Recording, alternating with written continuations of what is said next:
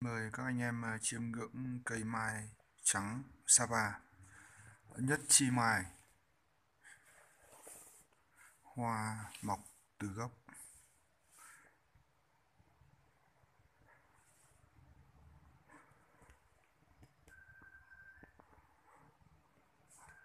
Hoa cánh rất là dày.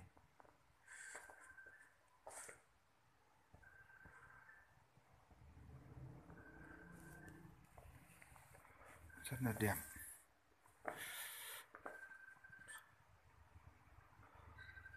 Rất tiếc là cây này nở trước Tết khá lâu nên là không biết là đến Tết có còn được hoa đẹp như này không.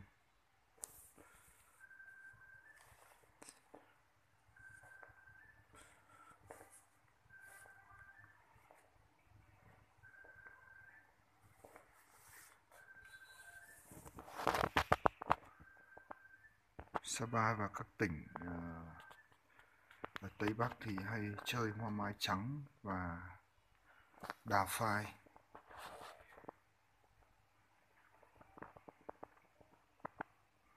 Cánh hoa mai rất đẹp, rất nhiều nụ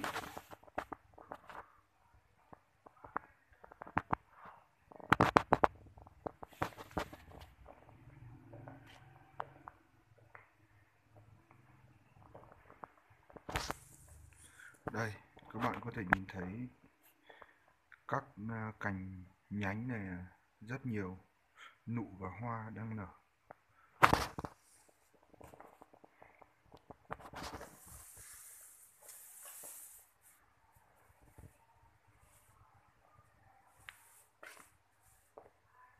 Rất đẹp và bắt mắt.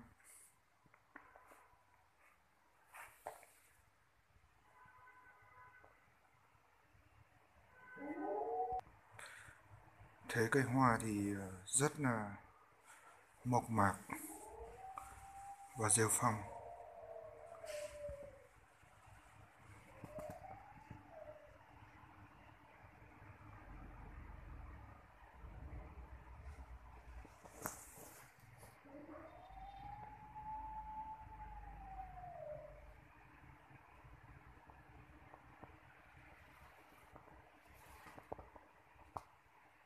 Thật sự là rất là đẹp. Cành cây thì rất là rêu phong.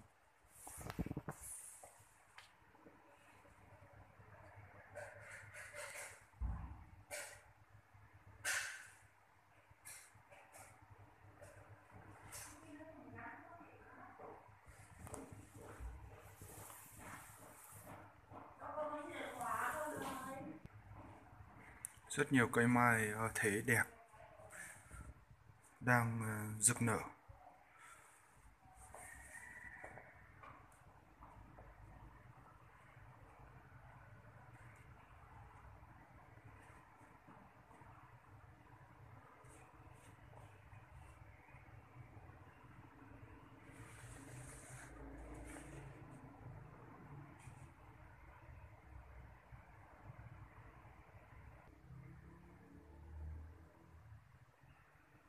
Rất là đẹp.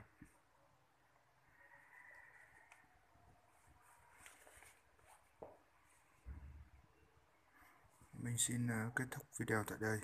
Ờ, chúc bạn có một ngày mới, nhiều niềm vui. Cảm ơn các bạn đã xem video. Xin chân thành cảm ơn.